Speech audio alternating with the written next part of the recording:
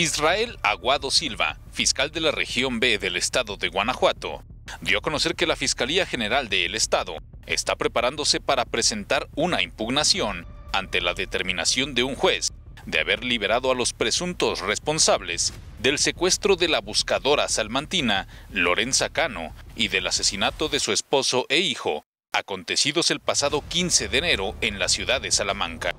El fiscal regional aseguró que esta decisión judicial agravia tanto a la Fiscalía como a la familia de las víctimas y a la misma sociedad guanajuatense. Esa determinación nos causa agravio a todos, es una determinación que le causa agravio a la Fiscalía, que le causa agravio a la familia, que le causa agravio a toda la sociedad de Guanajuato. Estamos inconformes con esa determinación, estamos impugnando, estamos preparando el recurso que presentaremos con toda oportunidad.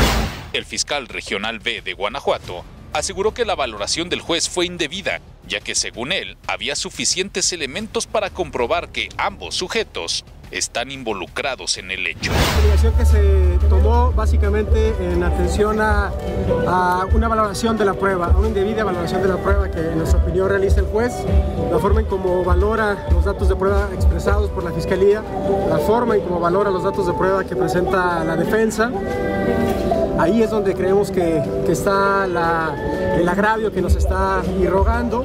No se trató de ninguna manera de una determinación contraria por insuficiencia probatoria, de ninguna manera. Incluso el juez que nos determinó las órdenes de aprehensión previamente eh, es el mismo juez que ahora resuelve en este sentido y antes nos había dado las órdenes de aprehensión con los mismos datos de prueba.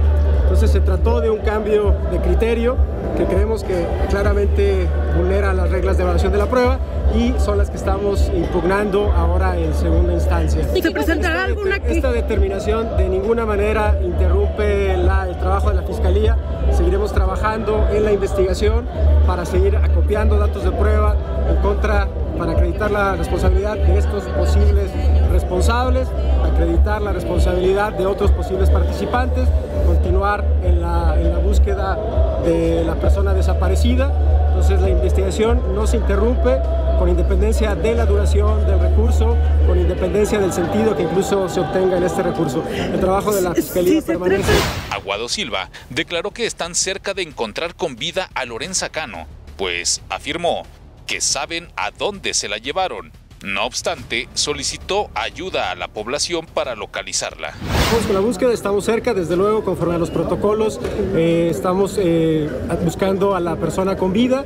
Ese, de, solicitamos incluso información a la ciudadanía, quien tenga información, quien nos pueda dar algún dato acerca de su paradero. Están abiertos todos los canales de la Fiscalía para su localización. Pero ¿cómo de que estamos, estamos cerca? cerca? ¿Qué, está, ¿Qué, significa eso? Ajá. Tenemos la zona, ya, ya lo habíamos anunciado, a donde se la llevaron. Hoy se cumplen 15 días de su desaparición. ¿Lo buscan aún con, con vida o cómo va a ser? Son reglas de protocolo, desde luego buscamos a una persona con vida. ¿Tienen pruebas, tienen indicios de que aún siga Lorenza con, con vida? Conforme al protocolo siempre hay que tener esa presunción. Nosotros estamos con ese, con ese, en ese sentido haciendo la búsqueda.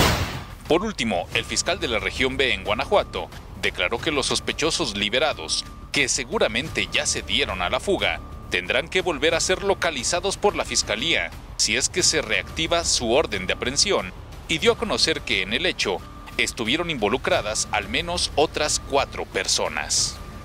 Para el sistema de noticias de TV Libertad con imágenes de Diego García, Héctor Almaguer.